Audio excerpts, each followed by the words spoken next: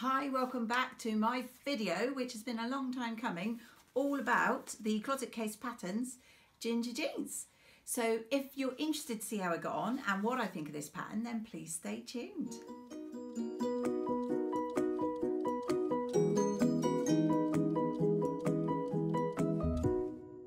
So today's review is really my thoughts on the closet case ginger jeans, how I got on and any changes I will make for the next pair. So before we get started, um, people often say what they're wearing.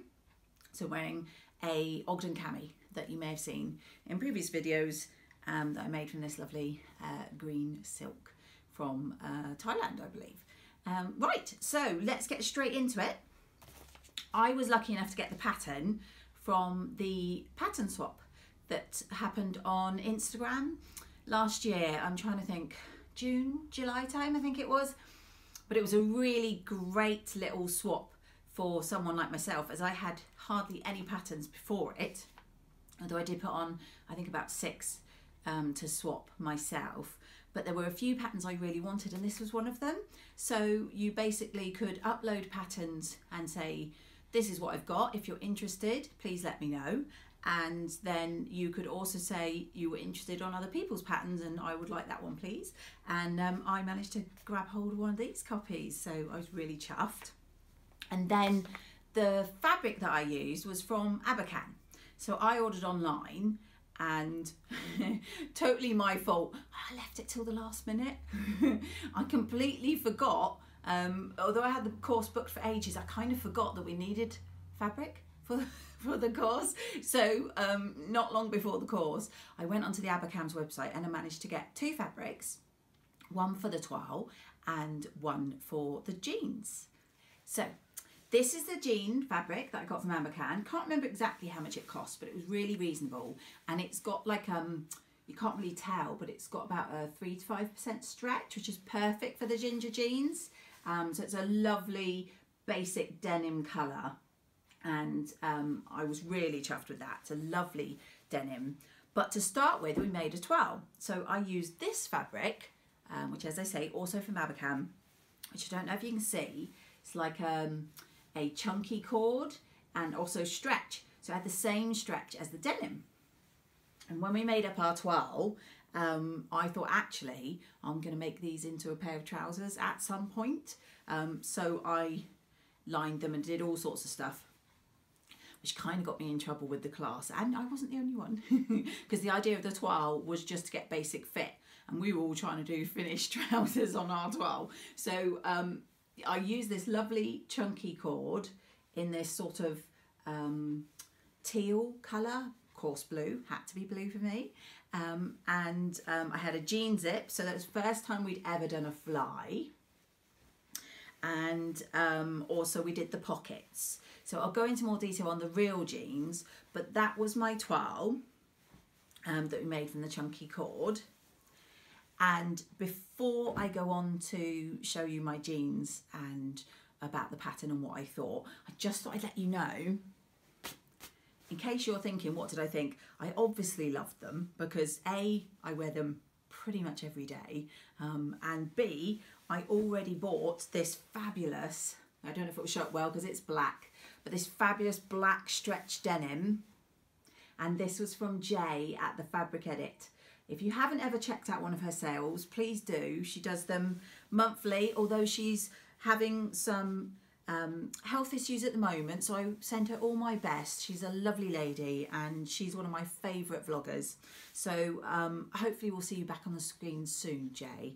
Um, but this was from her sale and it is for my next pair of jeans because that's how much I like them. Right, so let's get into the pattern. So in the pattern, um, it had the measurements to go from. So in the first day of the class, oh, sorry, I should say for anyone who, who wasn't aware that I did a workshop, so two day workshop where I got the majority of my jeans done and then I finished um, the rest of it at home. But inside the ginger jeans, you get you get the Janes, ginger jeans. You get a fabulous little booklet um, really good illustrations to help like see all my ticks when I've done every section. um, but right at the beginning, you've got your measurements. So obviously that's the first thing we did. And I worked out from my measurements that I was basically a straightforward size 14. So we went for a 14 and I didn't make any adjustments to the pattern pieces for the toile. And then when I tried on the toile, oh, I just hold them up again for you. When I tried on the toile, what we found was the um, the yoke where it joined at the back. I needed to alter the pattern to take that in a little bit. So we took the yoke in and I don't know if you can see, let me see. I'll do a photo if you can't see, but there is where I took it in. I don't know if you can see that, I'm not sure. Um, because it was a bit loose around there. And then when I tried them on, I'm hoping you can see this, actually the um, curve for the hips was way too big. So actually I sliced off quite a lot um, from the hips and then all the way down the legs as well. I found the um, the fit quite well around the waist, like I say, a little bit off the yoke, and then from the hips down, I probably took off oh a centimetre and a half at least all the way down. So possibly could have got away with a 12, but I'm happier to cut larger and cut it down um, because although I've uh, in recent years put on a bit of weight around my middle area, my legs are still quite skinny. So to get the skinny fit jeans, I took them in quite a lot. Um, I absolutely love the instructions. Obviously, I had my tutor on the workshop who really, really helped, but the booklet um, is really great. So um, I followed it step by step, and any problems I had, I spoke to uh, Vanessa. So when you're doing the ginger jeans, or any jeans really, um, you need a couple of things that are pretty standard. So first thing is you need a good top stitch. This was a very classic uh, jean colour. It's like a mustardy orange. So I got two of those for the top stitching. You also need to have the correct needle. So I did buy two lots of needles. I bought jeans needles here and I also bought top stitching needles. But actually, speaking to Vanessa, my sewing instructor, she suggested trying the top stitching for everything because otherwise it's quite complicated because obviously you're stitching some of them ones in like the matching blue which would theoretically be in the jeans needle then you're swapping your needle to top stitching and swapping your thread to top stitching and doing that bit and then swapping back and so it's quite um, quite complicated to sew the jeans so actually I did I did do that I tried top stitching and the main stitching just with the same needle, which was my top stitching needle, and it worked perfectly. So I did that all the way along. Um, and in actual fact, in my next pair of jeans, to make things a bit simpler, because there is a lot of stitch as much as you can with your matching thread, but then you do have to top stitch as you go along. So there's a lot of swapping and changing. And at one point, I did all of the outside of my legs stitched together, really pleased and chuffed with myself till I realised I'd done it all in top stitching thread. So not only did that waste a lot of my thread, uh, but I had to unpick it and do it all again. So in my next pair of jeans with that lovely black denim I showed you, I'm going to set up my old Singer, my lovely old Singer, with the top stitching thread and the top stitching needle. And then I'm going to set up my Brother Innov-is, my main sewing machine, with the black thread and the jeans needle. And then what I'll do, I'll just swap from one to the other instead of having to constantly change the needle out. I mean, I'm very lucky. I don't know how many of you have more than one machine, um, but I'm very lucky to have a few machines in my sewing room. And those two are set up on the table so I can just work from one to the other. So I'm hoping that will make it go a bit quicker. The other things that you need to give you that um, really good jean look is the jean buttons and the jean rivets. And I bought some buttons on Amazon, which I thought were pretty cool um, because they weren't your regular uh, standard jeans buttons. However, when I got them, they were actually a bit smaller than I thought. So um, I ummed I didn't actually end up using them, but I will show you here I don't know how well you can see. I may put a photo in if that doesn't work. But I've got a whole bag. I can't exactly remember how many, but I've got a lot of these. So I'm thinking, well, I've got them now. So the plan is I might possibly, with the black denim, see if I can do a button fly. Now I'm saying that, I haven't actually looked to see how difficult this is because a regular fly was hard enough. but if I can do a button fly, I might use them for that because they're the smaller size. If not, I'm thinking I'll make um, a denim jacket at some point and they'd be quite nice all the way down the denim jacket. So they won't go to waste.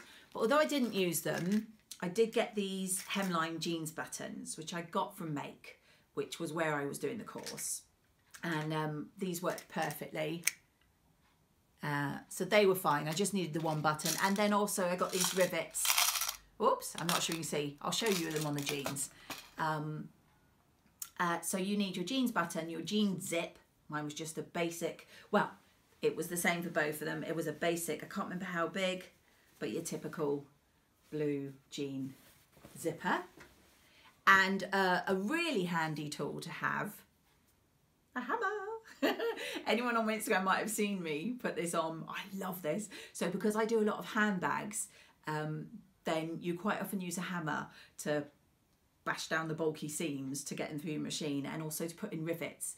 Um, although I do have a rivet press now, but I didn't have a jeans button press because um, you need different dies to go in your press. I didn't have that and I wasn't going to buy it just for one pair of jeans. So I got my good old trusty hammer so I had all the tools and we were all set up. And like I say, um, with Vanessa and the booklet, I found that it wasn't a difficult sew. Um, it was just a lot of steps. The fly was probably the most confusing for someone uh, like me. It had a lot of steps and a lot of stitch things down, turn it this way, stitch it that way, unpick. A lot of stuff that didn't make sense as I was doing it. But what I highly recommend, if you're not going on a jeans course where obviously you'll have hands-on help, uh, is there's actually a video on YouTube. I cannot remember, and I do apologise. I'll put it down here if I can remember. Um, but there is a sew along. Um, a lady over in America did a live sew along quite a long time ago, I think, but she's recorded it and it's up on YouTube. And she does step by step every bit of the ginger jeans. And I have to say, I did a bit of swatting up before the course and I watched her video quite a few times. So I felt quite comfortable that with Vanessa's help on the day and with that knowledge and the booklet, it would be fine. And it really was. So I know a lot of people say, wow, you know, jeans. And I am, don't, don't get me wrong, I am proud of myself. I do love my jeans. But it's really just a lot of steps. Um, so I would recommend anyone having a go, you know, why not? Why not make your own jeans?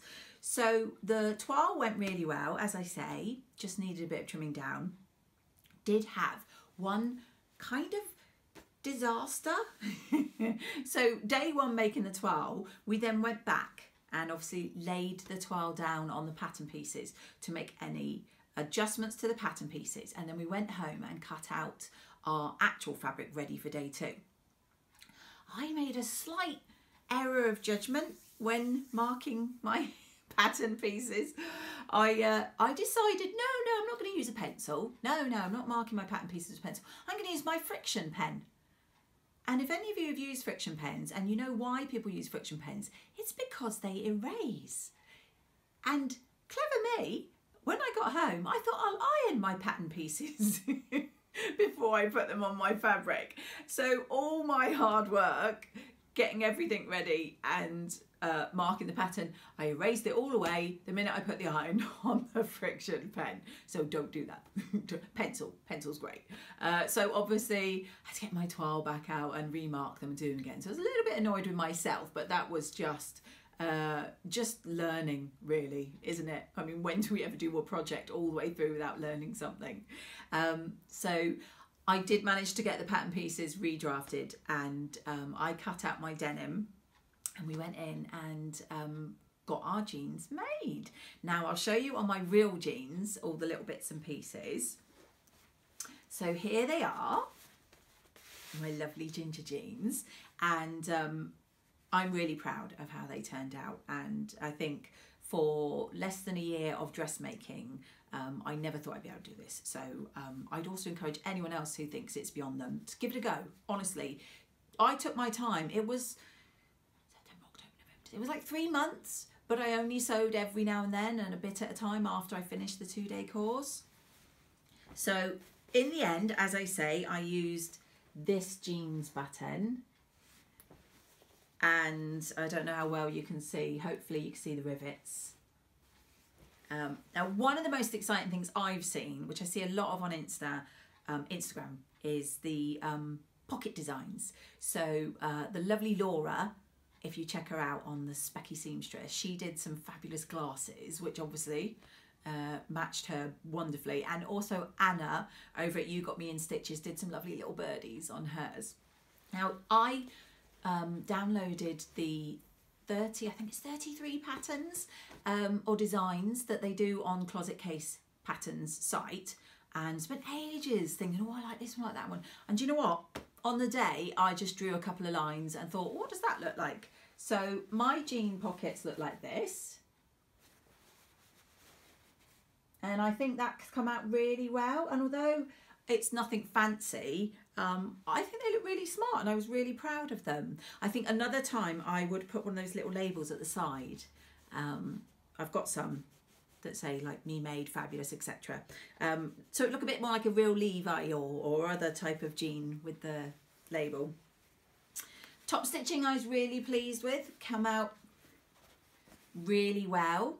Um, what i did do for the top stitching was i did um, practice. So i just just grab this down here I would always recommend when you're doing something, you know, that's going to really show up like this top stitching obviously is a contrast, so it's really going to show. So I did practice and decided on that. So I knew my length and tension and everything and then went ahead and did it on my jeans. I also use my back pocket to keep my phone in. So I put rivets on both corners to really stabilize and strengthen the pocket because obviously phone's always going in and out. Um, and similarly, I did the same with the front pockets. So I've got one on the coin pocket and then one on each corner of the main pockets. And inside, I wanted to have that little pop of colour. And anyone who knows me or watches my channel knows that I've got quite a lot of quilting cotton from my bag making. And my favourite of all is the fabulous Tula Pink's designs. This is one of hers. And it's actually sadly it's upside down. So when I cut it out I didn't really think it through. But they're meant to be like skulls. Um, I don't know if you can see. But I just think the pop of colour of the sort of acid yellow and green looks really good and as you can see I did it on the belt as well and also I did, if I can see, uh, where are we? I did do it on the pockets inside. Um, so I think it's a great way to use up some cotton scraps and really also anything with bright colour. Um, if that's what you like, um, it looks really good. I like it. Uh, what I would say in future, or for my next pair, I will make sure I interface the waistband because I didn't do the interfacing on the waistband and because it's cotton as opposed to uh, quilting cotton as opposed to denim it's not very firm. So the waistband's not as firm as I would like if that makes any sense. So next time I would interface all the way around the waistband. And then oh you may have seen put my little Kylie and the Machine label in as um, it was mine and I wanted to show that I don't know if you can see, but it says, yes, I made it. And um, like I say, the fly is just a lot of steps, really. Once you've done all the steps, um, and uh, like I say, if you're unsure, check out Closet Case Patterns do their own blog where they do it step by step, and also the lady on YouTube. She does a really good example. Um, inside, I overlocked pretty much everything. So I don't know if you can see, um, I overlocked the seams. I did forget to flats, um, what do they call it? No, I'm to have to look that up. I want to say flat seam, but I don't think that's right. The the inside of the legs I was going to do the, the, the way jeans normally do it to make it thicker and stronger. But when I stitched the side up to see if the fit was good, I then was so excited I went ahead and stitched up side without remembering. So that's another thing I remember is to go back and do those inside seams. And also, um, my machine did struggle a little bit with the thickness. If you can see, that is when it came to putting on the belt loops. So what I did in the end, um, Vanessa suggested quite rightly, was not to do the um, top stitching when it was too thick, just to put the loops on inside and then turn them over. And I only top stitched there where there was thinner fabric. And at the back, what I would do another time because it's so thick because I had not only the belt loop but I've put it right on the seam so that was thick as well I would just move it slightly to the side so I don't have to do that but they did go on and um, I think that all in all oh, they look really good. And like I say I wear them all the time and um, I love a good pair of jeans so I'm definitely making some more. So learning points for me and anything that might be helpful to you would be the um, obviously make sure you do the seams on the inside before you sew up the sides because then you can't go back and do it. So one other thing that I did, which um, in hindsight I will make sure I don't do quite the same, is like I say, I have quite skinny legs. So we took it in quite a lot and um, I really wanted the nice skinny fit. I didn't think through when it comes to the hems. So when I hemmed it, obviously I did a straight stitch across the hem, which has no real stretch in it. And obviously now when I put it on, I struggle to get it over the heel of my foot. So I'm doing the old lying down, pull on your jeans kind of thing. And when I take them off, I have to pull them down until they're on the floor and then tread on one leg. It's very graceful. tread on one leg and gently pull until I can get my foot out. It's the only way I can get my foot out of the, the hem because it doesn't stretch. So um, next time I will make it slightly larger and I might even put a stretch stitch in, like um, the triple stitch, because that will give a bit of stretch that I can get into my jeans and out of my jeans without looking like a complete idiot. so that is it for me with this video. I do hope you've enjoyed. If you've made ginger jeans or are thinking of making ginger jeans anything that you'd like to say or ask, please do put it in the comments. And as always, if you haven't subscribed but you really enjoyed my videos, I'd love it if you could subscribe and press that bell. It really helped my channel and get everyone, um, get more people seeing it. Um, the more that see it, uh, the more that YouTube will show it to people. And um, I would really appreciate that. So my overall impression of the Ginger Jeans is that they were well written, and they're a great pattern and I will be making more. And um, I hope I've inspired someone to give it a go because if I can make it and I've only been really sewing clothes less than a year, then you can make it too. And why not? Who doesn't love a good pair of jeans? Right, I'm going to sign off and I will see you all in my next video.